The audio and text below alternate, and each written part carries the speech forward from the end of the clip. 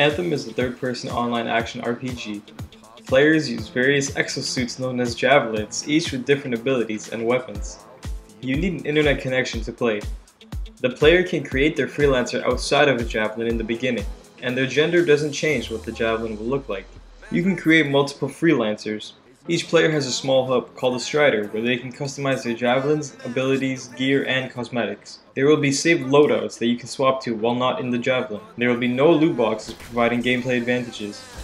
The microtransaction system is only for cosmetics, and you will know what cosmetic you are going to receive before purchasing. There will be a premium currency that you cannot earn in-game. Each cosmetic item is attainable in-game if you don't want to purchase it. There will be no player versus player activities at launch. The world is a free roam space where you can explore solo or with three other people. The map opens up right away from the beginning. The beings of the world range from different mythologies to science fiction. The world has real-time events, and the same day-night cycle applies to all players. There will be gameplay differences between nighttime and daytime. There are large-scale world events known as Shaper Storms where players can enter. There are fast travel points in the world. Missions are able to be started while exploring, and can be joined midway by friends. If a friend joins you, the mission will be completed on their storyline as well. Enemies in the missions are balanced to all players' levels. So if someone is level 30 and their teammate is level 1, the lower level player will still provide a substantial impact to enemies. Each javelin has to be earned as the player level progresses. In the recent gameplay demo they showed a storm javelin with the character being level 1. But on Twitter, executive producer Mark Darrah stated that this is not possible in the game. So as your level increases, more javelins will become available. Everyone starts with a ranger javelin. The subsequent javelins can be unlocked in whichever order you choose. Each javelin has one melee weapon at the moment and is specific to that suit.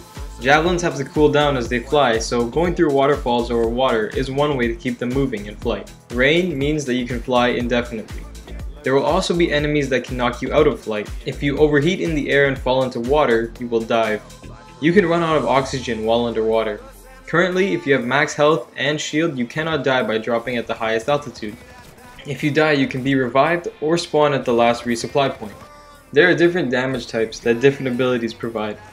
These abilities can be combined in succession with other abilities to give bonus damage. A solar player can do these combinations by themselves. The player's health is on the top left with the shield above it. The shield is also able to recharge.